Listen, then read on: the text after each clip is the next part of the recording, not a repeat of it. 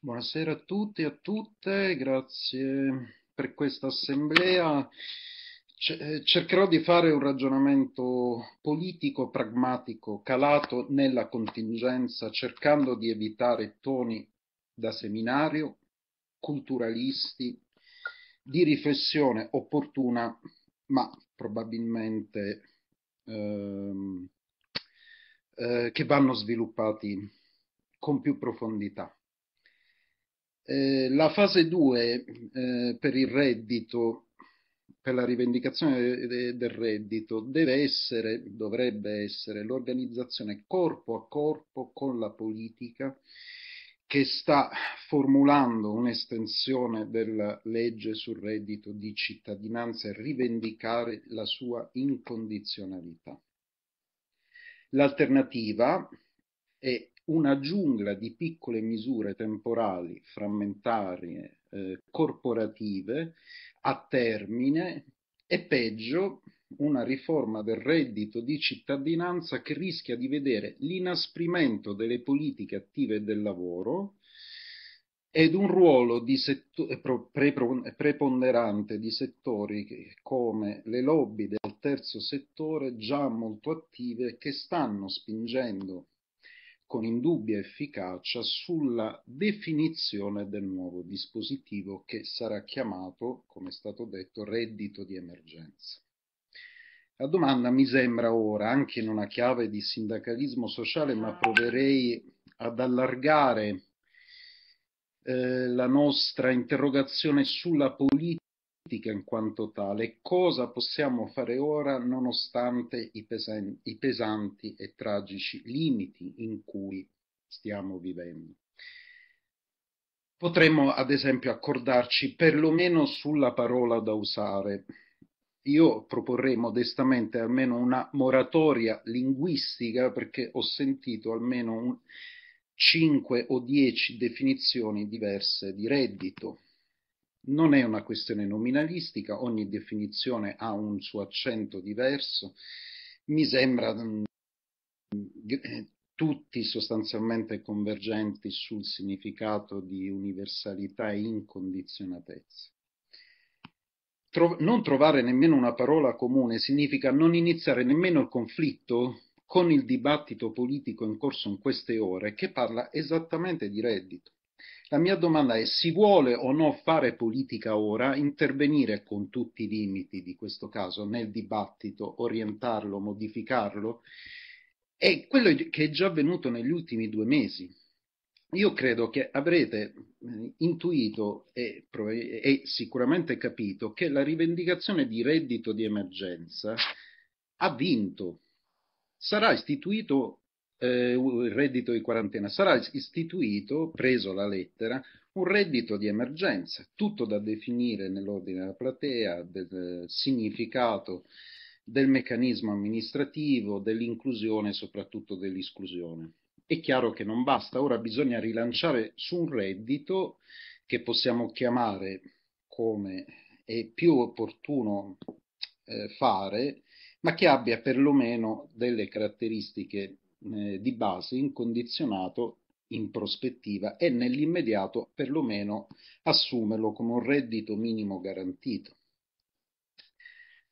Nello specifico si potrebbe formulare un'ipotesi di reddito che potrebbe essere fissato coerentemente con la legge esistente in Italia del cosiddetto reddito di cittadinanza a 780 euro a persona, stabile strutturale, il massimale già previsto dalla legge, equiparato al bonus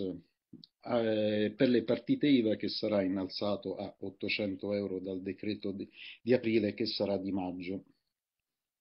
Potrebbe crescere questo reddito a partire da questa cifra di base in, eh, seguendo un duplice criterio, composizione del nucleo familiare, ciascuno prende 780 euro, senza requisiti di accesso patrimoniale, residenziale, fiscale, l'importo del salario ottenuto da, eh, dall'attività lavorativa sospesa o in corso.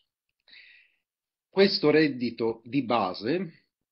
o come lo vogliamo chiamare, non può essere inferiore a 780 euro e questa condizione dovrebbe permettere di mantenere lo stesso salario in caso di disoccupazione diversamente da quanto accade oggi per le casse integrazioni. Eh, non tutte le casse integrazioni sono uguali, va ricordato che la cassa integrazione ehm, presenta una perdita secca di salario a favore delle imprese quindi bisogna, bisognerebbe perlomeno rivendicare un salario pieno da cassa integrazione, cosa che al momento eh, non è. Eh, altro discorso, secondo me, per rendere ancora più generale la, eh, la rivendicazione di reddito sono i pensionati sono stati esclusi dall'accesso a questi contributi statali straordinari voluti dal governo. Questa platea va considerata tuttavia a pieno diritto insieme a tutte le altre categorie sociali eh, destinatarie di queste mi eh, misure, soprattutto perché, come è noto, la maggioranza dei pensionati italiani prende meno di 1000 euro e una quota cospicua di pensionati prende anche al di sotto dei 500 euro eh, il governo precedente, proprio per rispondere a questa esigenza, ha coniato il nuovo termine di pensione di cittadinanza, che è una quota parte del provvedimento più generale del cosiddetto reddito di cittadinanza.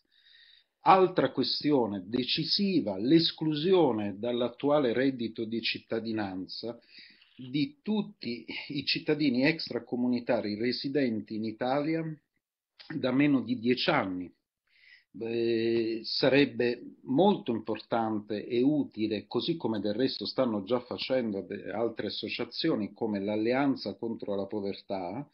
di eh, elimina- chiedere l'eliminazione immediata di questo bando di, cittad- di cittadinanza dalla cittadinanza.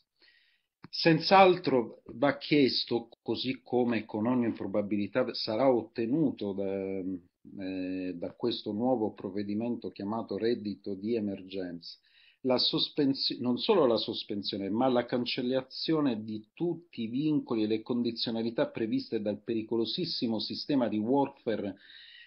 ancora non attivato sostanzialmente, che prevede un lavoro obbligatorio fino a 16 ore a settimana in mobilità obbligatoria anche su tutto il territorio nazionale, voi potete immaginare da qui a un anno cosa possa significare se attivato questo meccanismo in un paese con una recessione devastante, la più grave dal secondo dopoguerra. Per accedere a questo sistema si potrebbero prevedere eh, un tetto, eh, un tetto pari almeno a alla somma tra poveri relativi e assoluti, ovvero 14 milioni di persone che saranno senz'altro superiori anche di un terzo da qui a un anno eh, come conseguenza della crisi che sta iniziando a farsi sentire.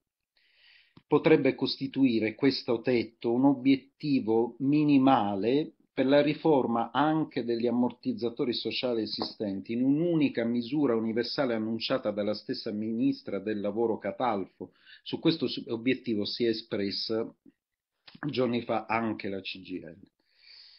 E in questo obiettivo rientra una delle rivendicazioni anche sul salario minimo orario, che è necessario per evitare un dumping ehm, e riequilibrare l'intero sistema eh, proposte di legge sul salario minimo orario ricordo che sono accantonate in Parlamento e ce ne sono più di una, quindi sarebbe anche interessante tornare a rivendicare, probabilmente anche su basi diverse, eh, un lavoro parlamentare che è stato perlomeno istruito nei mesi scorsi. Um, come anche mh, ho trovato anche molto interessante alcune suggestioni che riguardavano il finanziamento di questo tipo di misure all'interno di una più generale riforma del welfare, sia a livello nazionale che sovranazionale. A livello europeo abbiamo, come è noto, è stato già eh, più volte detto, un pacchetto di misure del tutto insufficienti, ma che sono comunque positive perché probabilmente sono l'inizio di un percorso più ampio che sia pur tardivamente verrà con ogni probabilità sviluppato nel, nel, nel, corso dei prossimi anni man mano che la crisi nei vari paesi diventerà più grave e si manifesterà in tutta la sua potenza devastante, la crisi sociale in particolare. Ehm, io posso brevemente citare che cosa negli ultimi 20-25 anni è successo a livello di Unione Europea, di Parlamento Europeo, sulla questione del minimum e basic income, reddito minimo o reddito di base che, eh, che, sono categorie molto ricorrenti e oggetto anche di importanti orientamenti e decisioni prese anche dallo stesso Parlamento europeo, a partire addirittura dal 1992 per finire al 2017. Um, ehm, e proprio in virtù di queste importanti decisioni che poi hanno dato vita negli anni anche a grandi campagne eh, di petizioni in eh, parecchi pa- paesi europei che si può ricominciare a, a, pensare a una dimensione sovranazionale effettiva e reale della eh, eh rivendicazione di un reddito di base incondizionato, perché esiste un'opinione pubblica ehm, già sensibilizzata, già protagonista di queste eh, battaglie, e, ehm, un'opinione pubblica molto sensibile all'intreccio, all'intersezione di una rivendicazione sul reddito ehm, con la questione eh, ecologica e la trasformazione eh, della produzione eh, nei termini di una critica anche del capitalismo eh, esiste una, eh, un grande orizzonte da questo punto di vista in termini sia di movimenti che di sindacati che hanno partecipato e, e sostenuto questo tipo di campagne in questo lungo lasso di tempo. E, ehm, eh, c'è anche, e, e, mi avvio a chiudere, eh, la questione fiscale. Molto spesso eh, nel vasto dibattito sul eh, finanziamento del, di un reddito di base è stato citato la mm, grande questione delle multinazionali, del web, le piattaforme digitali e il capitalismo digitale, che sta conoscendo anche in virtù del, di questa crisi un'esplosione di profitti sia finanziari che pubblicitari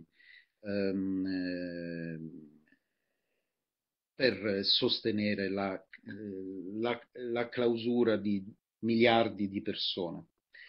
per difendersi da, da, dal pericolo di contagio. Ebbene, bisogna, eh, non è un mistero, bisogna tornare a collegare la questione del finanziamento di un reddito di base incondizionato alla tassazione delle piattaforme digitali. Anche su questo a livello europeo è molto avanzata la discussione, non si è ancora effettivamente arrivato a una definizione precisa di una misura eh, fiscale possibile, anche perché intervengono i governi e, e quando lo fanno tutto diventa molto complicato. Ma potrebbe essere un punto qualificante di una piattaforma politica eh, non solo nazionale ma sovranazionale che abbia un progetto politico e culturale da proporre, alternativo al dibattito, a dire la verità, troppo ristretto sull'emergenza e, ehm, eh, e, altre, e tutte le priorità di sostenibilità del sistema messo in grave crisi dal, eh, dall'epidemia. E da questo punto di vista mi limito a citare due ottimi e molto interessanti eh, proposte, una avanzata, avanzata entrambe da Philip Van Parijs da un lato e da, da, ultimo da Yanis Varoufakis. L'istituzione di un euro dividendo, un fondo dove versare sia tutte le multe eh, derivanti da una rigorosa politica eh, fiscale eh, condotta fino ad oggi dalla Commissione europea, sulle, sull'abuso di posizione dominante sul mercato da parte di, delle grandi piattaforme, da Google a Facebook a Apple e quant'altro. E anche eh, proporre che sia questo un fondo naz- eh, sovranazionale dove versare gli importi del, di una web tax sovranazionale coordinato a quelle nazionali, se e quando verranno istituite. Ehm, in questo fondo potrebbero anche eh, confluire altre forme di tassazione europea di queste multinazionali e insieme pensare di destinare il totale di questa somma all'erogazione di un minimo vitale per tutti i residenti in Europa, che sarebbe aggiuntivo alle risorse esistenti e future che, va, che possono andare in ogni caso a, fu, a, finanziare su scala nazionale un reddito di base, perlomeno concepito come reddito minimo garantito. Ehm, tutto questo, eh, tutto questo ragionamento eh, per invitare, per quello che è possibile, alla luce anche di, della condizione materiale in cui tutti ci siamo, a rinvigorire una campagna culturale, una campagna social, un ca- una campagna web, perché ha già funzionato. Negli ultimi tre mesi la campagna del reddito di quarantena si, ha orientato l'opinione pubblica e i decisori politici in questo paese, che naturalmente stanno provando a declinare le interessanti intenzioni della campagna in, in, in maniera parziale e categoriale e soprattutto emergenziale. Ma questo significa che in questa condizione molt, gravemente co, eh, coatta e difficile è possibile intervenire nel dibattito politico nazionale. Ehm, si potrebbe concretamente, laicamente, pluralisticamente lavorare tutti insieme a un'idea di piattaforma il più ampio possibile, la più porosa possibile, la più aperta possibile, per, ehm, eh, eh, non come, da considerare non come mera sommatoria delle identità esistenti, ma come una piattaforma capace di intervenire attivamente nel dibattito politico eh, reale su questioni ehm, urgentissime che soprattutto, che soprattutto non finiranno da qui a giugno ma che costituiranno il, la vera questione sociale da qui ai prossimi tre anni. Quindi è molto importante anche in questa fase difficile eh, pro, eh, immaginare sia culturalmente che anche come campagne eh, web e sociali una fase di accumulazione, di rinnovamento, di rigenerazione per andare oltre se stessi, perché tutto questo è già avvenuto nel caso del re, della campagna per il reddito di quarantena. Quindi ehm, vi ringrazio, grazie.